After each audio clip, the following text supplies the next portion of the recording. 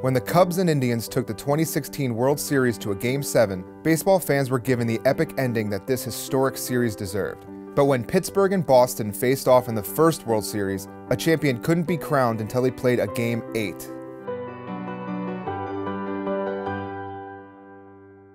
1901 was an eventful year. The assassination of President McKinley created an atmosphere of panic in the US, causing the first crash of the New York Stock Exchange and the Great Fire of 1901 leveled most of Jacksonville, Florida. But while the world around it was falling apart, Major League Baseball was growing, as 1901 marked the introduction of the American League.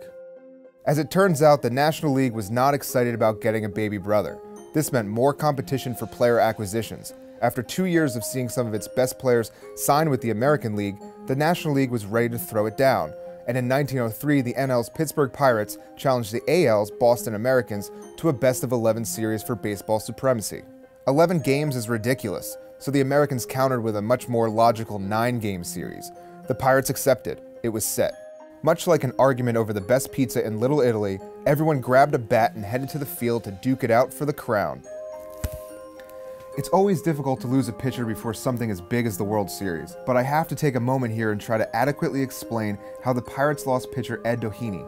Doheny started off the 1903 season well, before completely unraveling. I mean completely. A Pittsburgh Post headline read, His mind is thought to be deranged, after exhibiting extreme paranoia and following a series of behavioral missteps, including throwing a bat at an opposing player before mocking fans who then threw stones at him.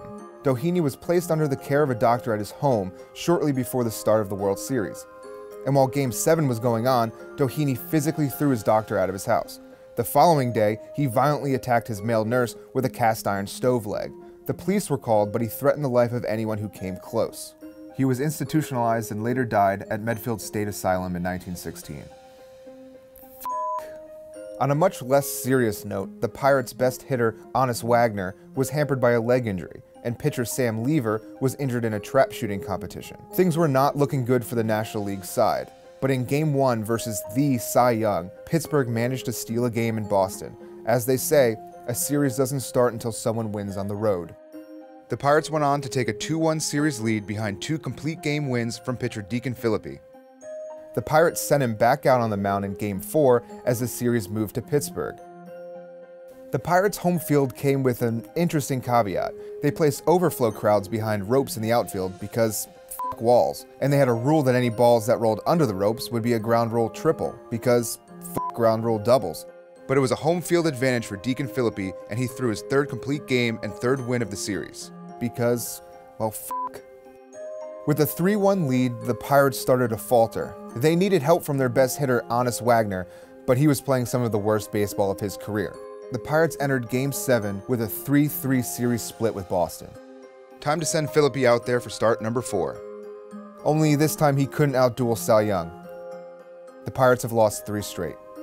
You're asking yourself, the Pirates are now down 4-3 in a best-of-nine series. Your best pitcher, Deacon Phillippe, has thrown four complete games in 10 days. What do you do? You hit that goddamn Deacon Phillippe gong and you never look back. Phillippe took the mound for his fifth start of the series, but simply could not keep up with Bill Dinneen, who was fresh having started only four games that series.